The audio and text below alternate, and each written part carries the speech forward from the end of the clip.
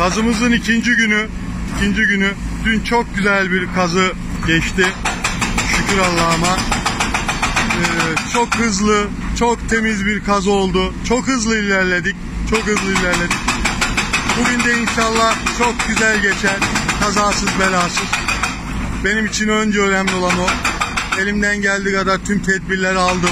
Tüm tedbirleri ki her köşede her köşede alanı takip eden arkadaşlarımız görev başında görev başında arka alanlarda üst alanlarda herhangi bir oynama var mı? Herhangi bir e, tehlike teşkil edecek bir durum var mı? Takip ediyorlar. Takip ediyorlar. E, arka boyutta arka boyutta e, bir aşağı yukarı 15 kişi çalışıyor. 15 kişi memurlar, jandarması e, ki biliyorsunuz artık Çevre Bakanlığı da geliyor. Çevre Bakanlığı. Güzel bir kaz oluyor. Önce kaza bela olmasın. Ondan sonrası macera. Ondan sonrası e, hayat yaşantısı diyelim. Macera diyelim. E, öyle bakıyorum. E, ha bir başarı gelecekse bizim ölçümlerimize göre bu da bizim bize yazılmış olur. Ee, allah Teala bize başarıyı vermiş olur. Hayırlısı olsun diyorum.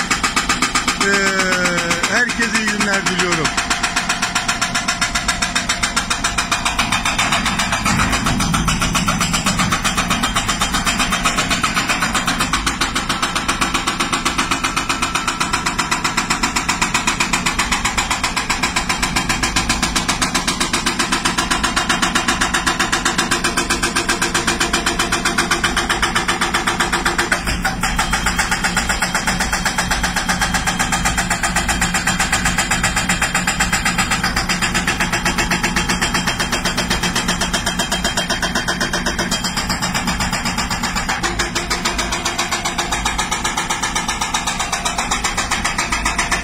Tabii ki e, burada bizim e, tespitimiz şu e, çarpının çarpının aşağı yukarı aşağı yukarı bir 15-20 metre altı alta gireceğiz arkadaşlar. Yani orayı kırarak ileriye gitmeyeceğiz.